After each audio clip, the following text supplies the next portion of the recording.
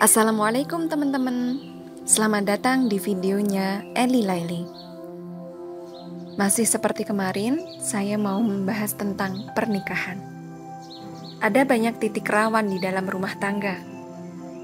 Pasca melahirkan, ekonomi sedang terpuruk Karir sedang melonjak naik sehingga waktu semakin terbatas untuk keluarga Merasa menjalani rutinitas yang itu-itu saja LDM, dan seterusnya yang membuat bisa jadi kita bersama, namun saling kesepian.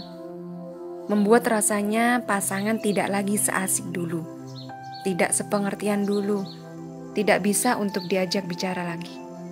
Membuat orang lain bisa terlihat menarik, berbeda, tidak membosankan, dan lebih bisa mengerti kita.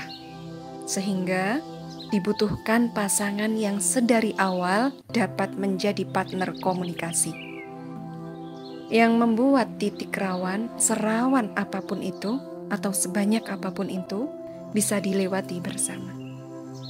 Sehingga, ketika perasaan kesepian atau tidak dimengerti melanda, pasca melahirkan, atau ketika jarak yang sedang memisahkan, misalnya, dapat dikomunikasikan tanpa perlu merasa sungkan atau konyol. Dapat dicari jalan tengah agar sama-sama memahami apa yang tengah dirasakan oleh pasangan. Karena bisa saja satu tidak sadar bahwa yang lainnya sedang mengalami perasaan kalut, agar tidak terlanjur terjadi hal yang tidak diinginkan, agar masalah kecil tidak menjadi benang kusut yang tidak dapat terurai, sehingga penting sekali memastikan untuk bersama dengan orang yang mau dan mampu untuk belajar berkomunikasi bersama tidak menganggap perasaan atau pemikiran pasangan sebagai hal konyol dan tidak penting untuk didiskusikan. Membuat satu sama lain merasa nyaman untuk saling terbuka.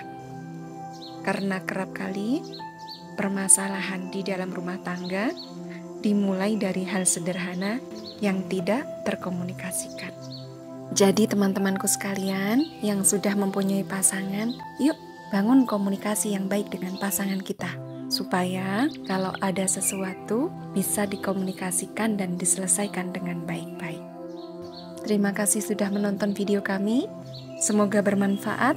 Salam sehat dan bahagia selalu. Wassalamualaikum warahmatullahi wabarakatuh.